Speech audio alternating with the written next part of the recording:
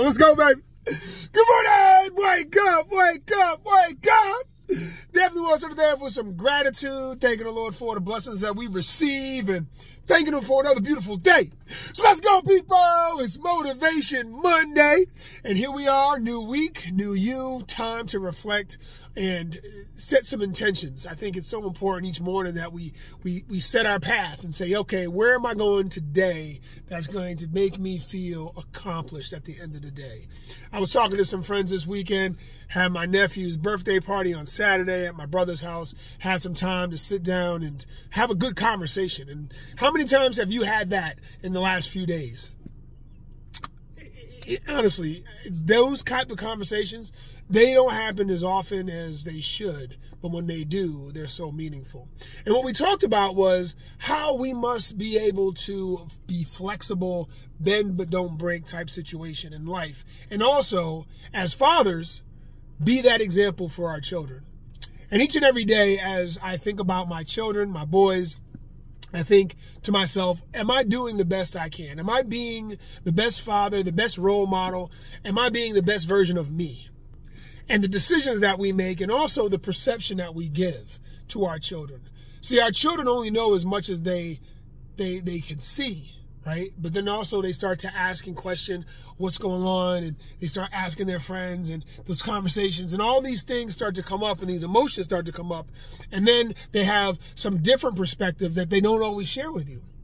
And we must be, you know, we must be uh, doing our homework and making sure that our connection with our children is strong enough so that the communication goes back and forth in those in those situations where your child doesn't just assume one thing or the other.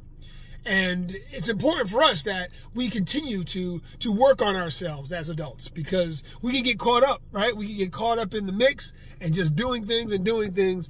And you know, for us as a family, we're coming, you know, we're coming to an end of uh, a, a very exciting time you know, my wife, you know, she she committed to going back for her masters because she wanted growth in her career, and so our whole family has made that shift to make it possible for her to be able to do the best version of her each and every day. And she has her finals today, one day today, and then she has another final uh, on Friday. And so she's been working so hard. I'm talking 12 to 16 hour days studying, going over information, and I believe that you know it's a little excessive, but she is you know she is a um, she is a person of of commitment and diligence and she wants a hundred. Like she don't want to just pass the test.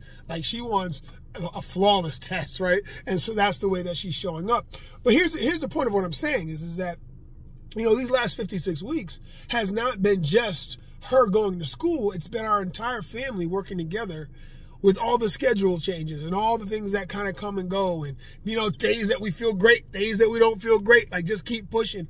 But again it's it's a lesson learned for our children to see that you know what no matter what age we are when we want something new we want to set new goals and new determinations and whatever it may be like we can do it. It's it's, it's just a commitment level and getting after it but also being persistent but also being patient. Um, you know because every day is not perfect it really isn't. But you have to realize that that's the way it's intended, right? We have grow days and then we have flow days, grow days and flow days. And so today, guys, what day is it going to be for you? And what intentions do you have? Motivation Monday. Let's kick some butt. Let's go. And guys, say some prayers for my wife that she crushes the test because she's definitely put in the work to deserve crushing that test. All right. Well, God bless y'all. Have a wonderful Wednesday. Uh, Wednesday. See? Wonderful Monday. Have a fantastic day. I'll talk to y'all soon. Peace.